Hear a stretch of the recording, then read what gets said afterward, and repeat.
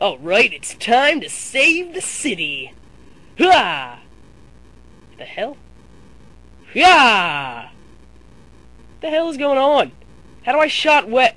Oh my god, it's Alfred Molina! Dr. Octogonapus! Oh, hey, man, where's your phone? Oh, um, it's charging. Dr. Octogonapus! Oh, hey, it's a letter from my uncle! Dr. Octogonapus!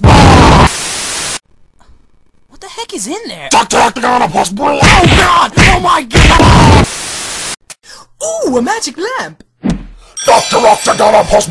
Ooh, I've never seen a genie like this before! Dr. Octogonapus! Okay, for my first wish, Dr. I... Octagonopus! Up, up. Don't talk. I'm your master now. Dr. For my first wish... Dr. Octamotherfucking I always knew I was meant for this. Meant to be a hero, the savior of the city, the protector of people. I knew I always had something deep inside me. Some... Something deep inside... Oh god, there's something... There's something inside... Dr. Octogonapus! So what do you think, Randall? Big crowd. Call me Testicles. But I think the killer's still here. So you're sure it's a murder? His chest was torn open first. You think he did that himself? My guess is the killer thought they could burn a superhero's body, and now they're here to see if it worked. But where? Sir, I'm gonna have to ask you. No, I can't let him get away. What the hell? Embrace who you are, Randall!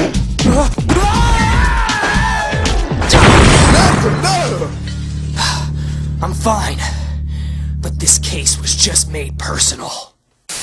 Hey, dude, I wouldn't shake that up like that if I was you. Hey, relax, man. See? Dr. Octogonapus! Alright, start talking.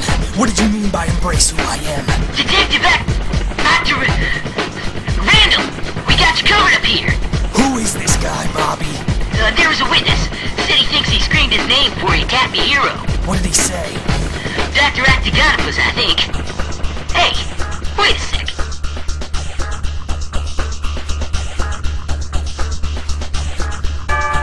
No. Yes, my son. Feel the power, Randall. Let it seep up your thighs and penetrate your body. Let it penetrate you, Randall. Feels good. Now release. Let it build up and release. Come, my son. You have much to learn.